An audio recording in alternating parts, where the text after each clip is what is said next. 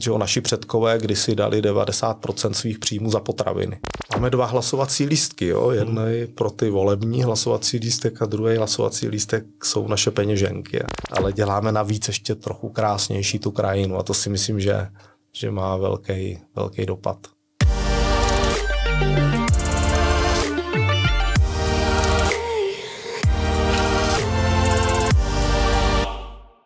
Jak ty, když tohle všechno víš, jak se ti daří jíst teda zdravě třeba, dá se to?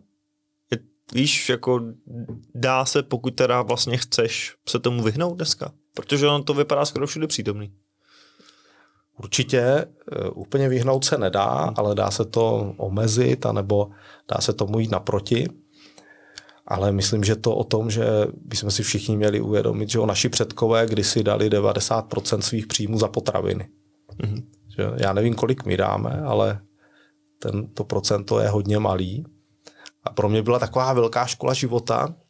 My jsme byli, my jsme měli takové setkání e, vlastně s rakouským zonentorem a e, vlastně s těmi kolegy a byli jsme někde jako na takovým team buildingu a tam jsme večer seděli a a ti naši kolegové z Čech se ptali, ale kde lyžujete vy tady v Rakousku, kam jezdíte lyžovat, a nebo eh, kam, kde je to nejlepší a máte nějaký typy pro nás a tak. A říkají, my moc nejezdíme lyžovat, jo? my jezdíme na běžky nebo takhle, ale my nejezdíme lyžovat, pro nás už je to jako ten sport za takovou jako hranou a hmm. tak a my radši prostě děláme jednodušší jako takový nemasový sporty, a protože to sjezdové lyžování, to už jsou prostě navezení těch mraky turistů do těch hor.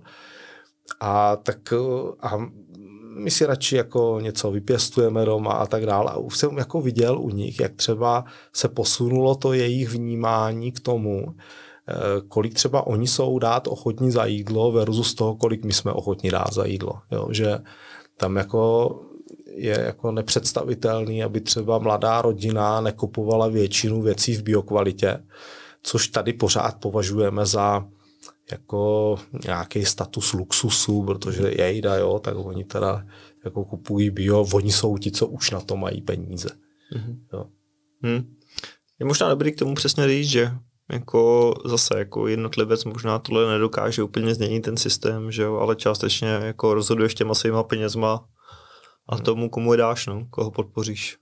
Máme dva hlasovací lístky, jo? jeden hmm. pro ty volební hlasovací lístek a druhý hlasovací lístek jsou naše peněženky. Já si myslím, že tam eh, je potom každý člověk si může nějak jako vybrat, co chce podporovat a, a co vlastně, do co chce dát peníze. A tak jako teďka jsem byl na setkání nějakých mladých lidí a tam mluvili hodně o investování a vlastně který ty eh, firmy nejvíc vynáší a vlastně kam investovat. A mně hrozně se líbilo, že ty lidi se zajímali nejenom vlastně o ty indexy toho největšího zhodnocení, který měly ty technologické firmy mhm. jako, jako Apple, Google a, a Facebook a tak dál, ale mnohý ty mladí lidi líb, už jako se jim nelíbilo, jak třeba se ubírá ta filozofie těchto firm a tak byli ochotní raději mít menší výnosy, ale investovat třeba do trvalých udržitelných projektů nebo do něčeho, co má smysl. A myslím si, že stejně to je tak i eh, tady s těma to věcma. Tak si myslím, že já s kým mluvím a vždycky se mě ptají, co pro to můžu udělat, tak říkám, nemusíš úplně všechno změnit, ale když můžeš, tak běž a podpor svého farmáře a kup si sem tam něco v biokvalitě a pokud půjdeš k tomu zdroji, tak uh, Eh, tak uvidíš, že to nemusí být tak moc drahý, jak si myslíš.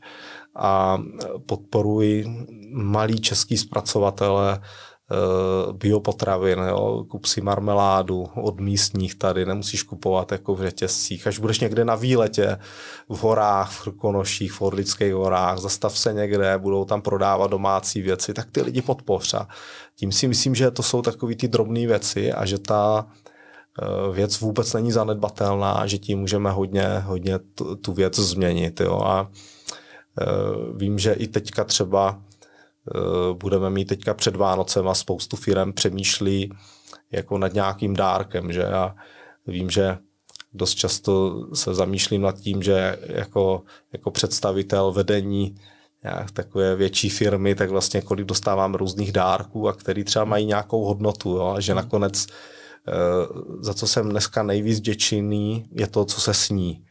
Jo, protože to, co se sní, tak někde nepřekváží, je to i nějaký ten minimalismus, který žijeme, že, tak, tak je to úžasný, takže myslím, že podpořit nějakého dobrýho vinaře, eh, který ho známe, jo, zpracovatele ovoce, pekaře a tak dál, tak, takže prostě to je skvělý a, a myslím si, že bychom měli takhle tomu dávat a potom i to ekologické zemědělství se posune a, a bude se moc rozvíjet a každým zakoupením takového výrobku vlastně děláme trochu krásnější krajinu kolem nás a to si myslím, že je hrozně důležitý. Jo. To znamená tou naší peněženkou nejenom, že Eh, platíme trochu víc za to bio Hokkaido, který bylo vypěstovaný někde, někde v country lifeu na farmě tady u Prahy, nebo, nebo nějakou biomarmeládu nebo biosušenky, ale, ale děláme navíc ještě trochu krásnější tu krajinu a to si myslím, že, že má velký, velký dopad.